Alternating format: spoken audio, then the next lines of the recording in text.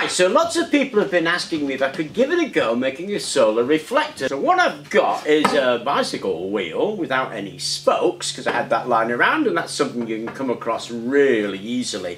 Now remember I do have those big wheels from the hamster uh, run around that we did and if this works I may make a massive one from the hamster generator. Anyway I've got my bicycle wheel I've got myself a space blanket, which is aluminium covered mylar, then a bit of super glue and a bit of Gorilla Tape. Step one, tape the mylar down to the desktop. So I started in the corners, put one corner on, pulled the other corner, went around, and then I put tape in the centre, pulled it, then tape here. Surprisingly worked well, that's pretty shiny. So step two, take your bicycle wheel and put some glue around it, all the way around here. I'm going to use super glue. When we've glued it, we drop it onto there and wait for it to dry. Well, that worked surprisingly well. Now we're going to stretch this into a parabola. Now, parabolas are found everywhere actually. If you throw a ball in the air, that follows a, para a parabolic path. A jet of water will follow a parabola. So they're all over the place. But in order to make a parabola, what we need to do is stretch this material. And the question is, how far do we stretch it? Because the light will hit it, be bounced off and come to some focal point. So where is that focal point and how much do we need to stretch that? Well, unfortunately, we need a little bit of math to understand that. So let's have a look at the math. I've drawn a parabola. Let's say it's 12 metres across and 2 metres deep. The question is, where's the focus? Now, the light will come in and obviously be reflected from whatever angle is there back out again. And that point where it gets reflected to, and they all get reflected to that same point, is the focal point. And we need to know that. So let's say we make a graph out of this. And we put that as our origin. Then because it's 12 metres across, obviously, there's going to be 6 metres and there's going to be 2 metres. So that point is 6, 2. this is our Cartesian geometry. Now you don't really re need to remember this, I'm just showing you um, so that you can use this as a guide. But if you imagine that's the parabola that we've got drawn on a Cartesian set, we can choose the point. Now, related to the um, equation of the parabola, we know x squared equals 4py. If we plug in our x, which is 6, divide by 4 on both sides, then we get 8 equals py, where p is the point of focus and y is this distance here, how deep it is. Now we know this distance on this example, it's 2. So in this case, the point, uh, focal point will be at 4 metres. It will be here, because we just plug 2 into there, divide both sides, 4 equals p.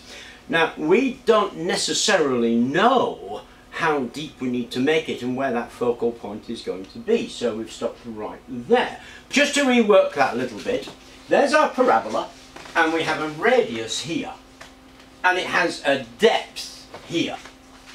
What you need is that the radius squared is equal 4 times the focal point times the depth. In our case, with that uh, bicycle wheel, it's 205.92 centimetres equals FD. So if I make the depth, this depth here, 10 centimetres, and I can divide both sides by 10, and I get 20.592 is equal to the focal point just by dividing both by 10. But because you don't know which you're going to mean, you can make some decision. 10 centimetres like that, 20 centimetres like that, maybe that's a bit near. If I want 4 centimetres, uh, 40 centimetres like that, I only need to bend that 5 centimetres. So there are a whole host of methods of forming that parabolic shape. If you want to make a parabola, a true parabola, then you're going to be drawing parabolic curves. You need to draw those curves on something that you can create a structure from that you can force your reflective material into. Now that is a bit of a pain. But if you want to do it, then it's one of the methods that you see and you see YouTube videos on that.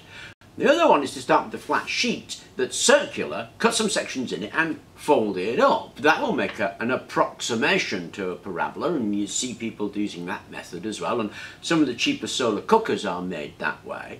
And Nighthawk in Light did a really nice one where he used a mylar blanket and he forced some air in with an air pump and it made a dome. Now that dome is going to approximate a parabola but then so are flat sheets and a parabolic approximation is usually good enough to do what we want to do with it.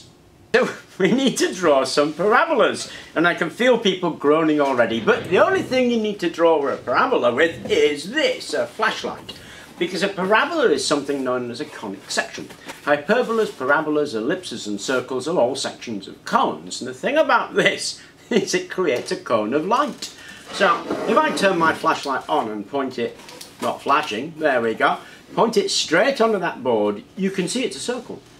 As I bend it, it becomes an ellipse. If I go right the way around like that, it becomes a parabola, and then further around like that, it becomes a hyperbola. So we can create a parabola really easily just using a flashlight. So my bit of board, I've got the centre there, which is going to be the centre of my wheel. This is the distance across the wheel. Here's the edge of the wheel. I don't know how far down I want to go, so let's say five centimetres, about there. I shine my torch on, making sure that the beam of light just touches here, here, and the bottom here, and that will create a perfect parabola. Now, it's a bit challenging to do by yourself, but you can do it if you use a stand for your flashlight and fix this, or if you happen to have a willing helper who doesn't know any better and you promise him chocolate afterwards, use the willing helper. Luke! Want some chocolate, mate? Of course I do, mate. so use that technique to cut our perfect now, parabola. I've pointed out there's lots of ways to make this. We're going to use Nighthawk's method because it's pretty easy. But instead of um, getting a great big piece of plastic, what I've done is taken a sheet of rubber and glued a tyre valve to it because the tyre valve will fit straight onto my pump. And so all I'm going to do is exactly what he did. Lay it on there, clamp it down so we get a seal, and then I'm going to put some fiberglass on there. Okay, so there it is. There is our parabolic mirror. Let's go back and mirrored front. That's awesome, actually. Of course, we've got to burn something in the sun with it, so let's take it outside. Incidentally, remember all that stuff I did about focal length? Well, this is about 100 centimetres deep, so the focal length is going to be about 20 centimetres from the bottom, which is about there-ish. So we know where the focal length is going to be. That is so bright, it's actually difficult to look at.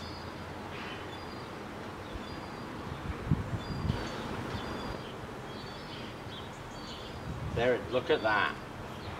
Wow. Jeez Louise.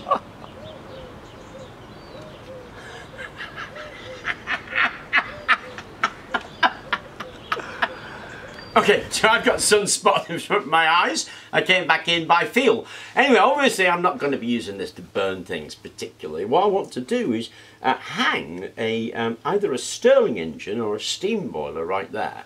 I remember uh, MIT did that stuff where they added copper nanoparticles to water and created a flash steam boiler that they could then run a steam engine on. Of course, that's what I'm interested in. So I thought I'd go through how to make the parabolic mirror, uh, exactly where those focal lengths are, the different kinds of ways of making them, and then I thought I'd use Nighthawk method, which was really simple, and we made a pretty nice mirror using a bicycle wheel that's good and sturdy.